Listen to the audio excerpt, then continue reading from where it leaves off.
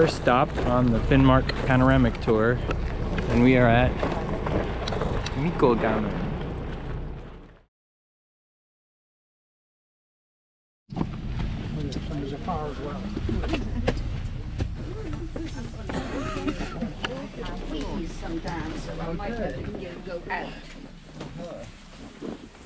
Yes.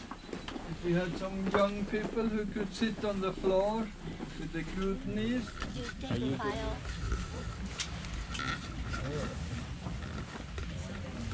Are you gonna take some reindeer skin home with you? Yes, I love it. So uh, here is also system when you come inside here we have a little enter called in Sami language Osot.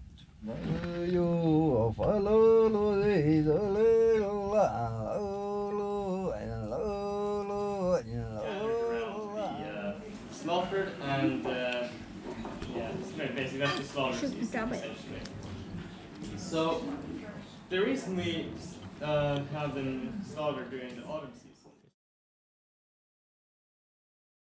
Okay, so we are off our excursion from Hammerfest. This is downtown Hammerfest.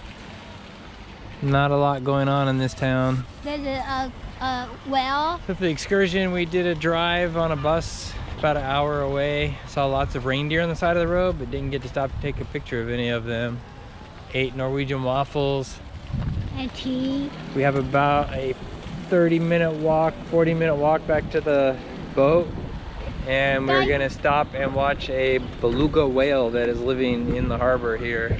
And they're gonna feed it at six o'clock. It's come from Russia. They, they are quite certain it's a whale that was born and bred in captivity and somehow escaped, ended up here. And now they feed it daily.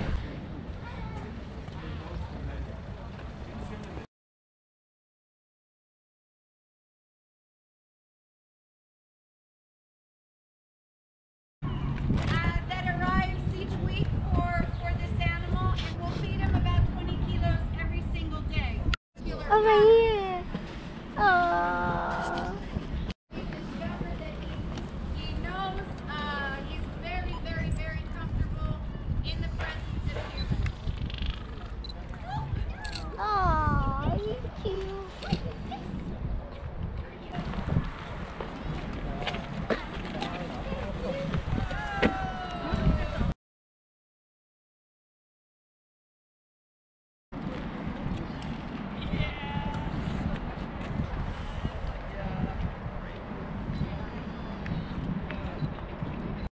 Stay out of the way.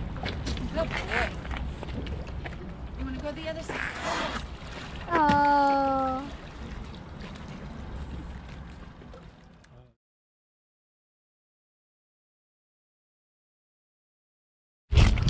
Time to go swimming. The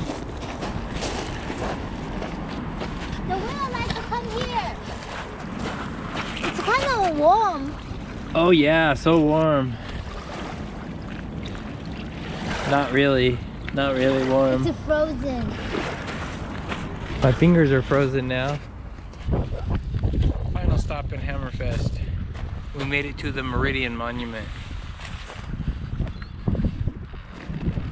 You want to explain what it is?